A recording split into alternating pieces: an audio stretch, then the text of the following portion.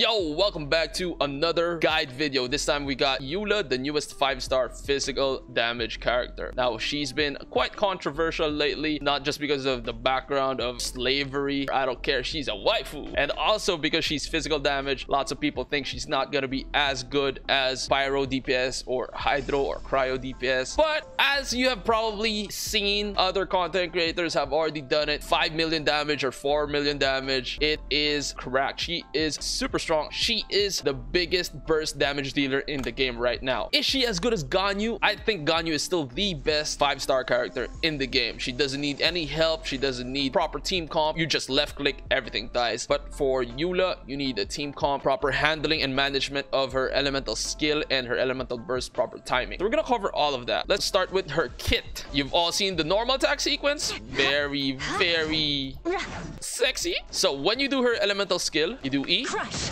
You get that sword marker on top of your head. That means you get one stack of Grim Heart. If you do it another time, you get a cross swords on top of her head and her cape glows. See? That means you have two stacks of Grim Heart. Now, if you have two stacks of Grim Heart, you go hold E Rack and ruin. And it consumes two stacks of Grimheart and you get additional damage as you see there. Also, you reduce cryo and physical resistance. So again, E, E, hold E is the way to go. Her burst is quite different from other characters. It doesn't immediately do the damage. So you do your burst will be mine. and then for 7 seconds, you can stack the damage by doing normal attacks and your skills. And then it will explode after 7 seconds. Boom. So when you're waiting for that burst, you want to do as many normal attacks as you can and as many elemental skill. Do take note that when you cast her burst, she gets one stack of Grim Heart and then it also resets the cooldown of her elemental skill. The best optimal rotation for her skill and burst is E, E, hold E, Q, E, hold E, and then do normal attacks in between the cooldowns. But in a practical scenario, you would probably do E, Q, hold E, and then do lots of normal attacks. I do want to say that she does struggle with energy recharge because her burst takes 80 energy cost. So you need some energy recharge on the substats of your crits, or you can adjust your team comp in such a way that it gives you lots of energy. We will talk about team comps in a bit. So in general, this is what you want to do. You go E, bunch of normal attacks, dodge that, and then E, and then hold E, and and then burst, Blood of frost. and then E, Shudder. and then normal attacks. Huh? Uh, it takes a while, and then hold E, then normal attacks. And that is the optimum combo for Eula. Now, like I said, it's only good on paper. Many stuff happens during a fight. You gotta dodge, you gotta heal up, you gotta switch characters. It's not practical. So that's why I say just do E, Q, hold E. If you don't have your burst, left click and press E all at the same time as much as you can.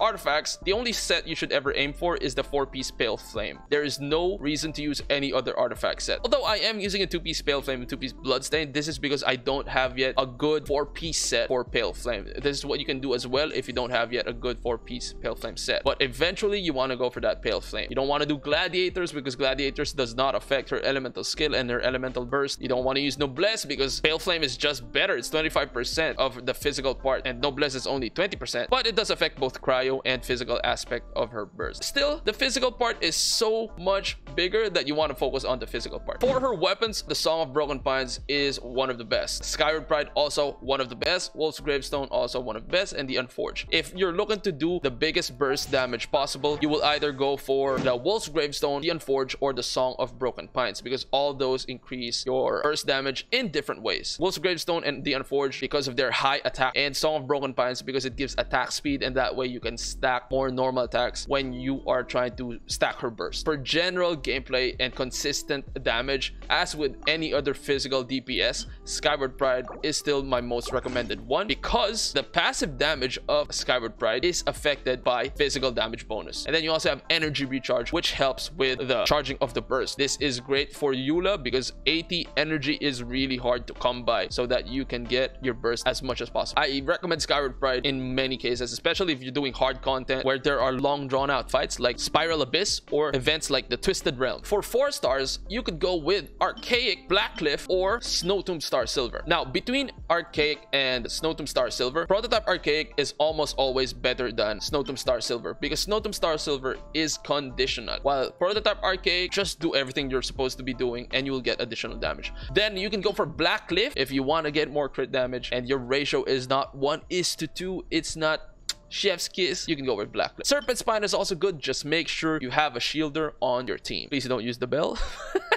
I think Sacrificial might be a good option if you really want that burst damage all the time, or even Favonius. Now, I do have a C4 Eula. Yes, I'm a whale, but when you get Eula, you don't really need any of the constellations. Her constellations give her so much more damage. Insane upgrades. If you want to get a constellation, C1 is already bang for your buck because C1 gives her two stacks of this, which means she can get up to 60% physical damage bonus all the time. C2 is alright. It makes it so that your hold E cooldown is the same as your press E cooldown. So from 10 seconds, it becomes 4 seconds. It's not a big deal. This one increases the burst level by 3. So of course, more burst damage. C4, Lightfall Swords deal 25% increased damage opponents with less than 50% HP. This affects both the burst Lightfall Sword and the elemental skill Lightfall Sword. The elemental skill produces a Lightfall Sword if you have two stacks of Grimheart and you hold it down. It will consume the two stacks and it will create a Lightfall Sword that will also explode for more physical damage. C5 increases the level of her skill and then C6 I hope someday we can get it. Take note that the maximum possible stack you can get on Eula's Burst is 30 stacks. Now, is it possible to get that? I'm not sure. Probably not unless you have some buffs from Chongyun attack speed and Jean C2 attack speed. It's virtually impossible to reach the 30 cap. But with this C6, you get 5 stacks immediately and every single damage you do with Eula will have a 50% more chance to gain additional stacks. So it becomes much easier to stack that damage on a burst and it's just absurd damage. At C4, I already did 752k damage on the Primo Geovishap. That's with 4-star supports. How much more with C6 and maybe if you're using Song of Broken Pines? It's absurd and you don't need it. C0 Eula, C1, absolutely fine. There's no monster in the game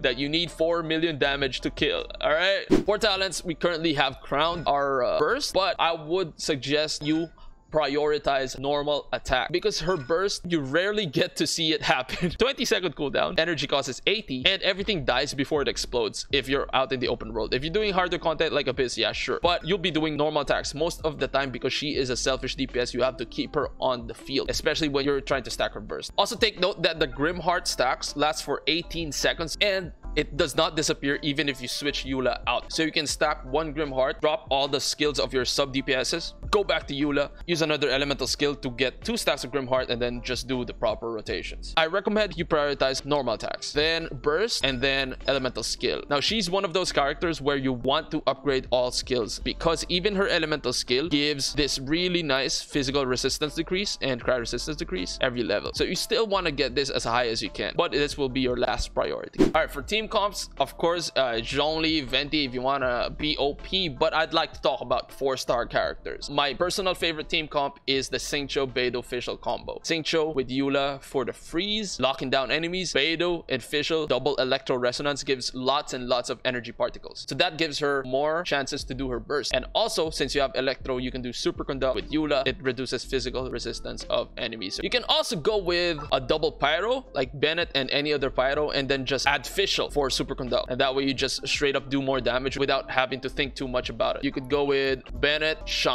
and fischl just make sure you have an electro character for that nice super superconduct you can also use rosaria if you have c6 she's also a really nice addition. If for example you're looking for cryo resonance and you somehow have a c6 rosaria then you have that nice physical resistance decrease from her burst. You can also go with a diona support so that you have cryo resonance for more crit rate and you also got a shield and healing from diona if you're not looking to do cryo resonance you can also use Xinyan as a support character. Because Xinyan does give 15% physical damage increase from her shield. However it's not really recommended to rely on Xinyan for the 15% physical damage bonus because that shield is paper thin. It will get broken very easily and the cooldown is 18 seconds. So that's not recommended in my opinion. You would benefit more from just using any other sub DPS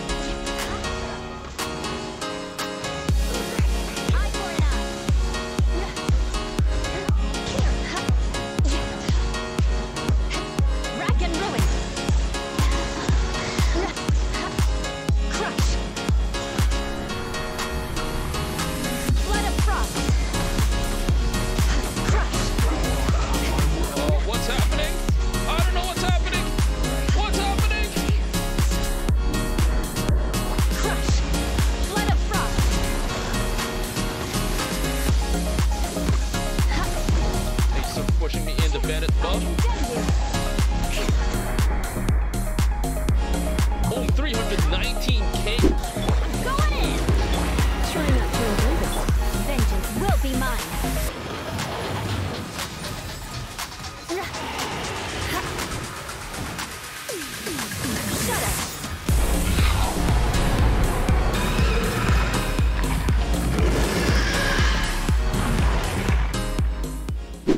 If you want to check out the Eula gameplay, go drop by my stream every Monday, Wednesday, Friday. We stream on fb.gg slash xnutgaming. And do join our Discord of 6,000 members. We got a hangout there. We got all the character builds in there. We got Teapot channel if you're looking to trade with other people. See you there and see you on the next video. Wanna go this way? Ah!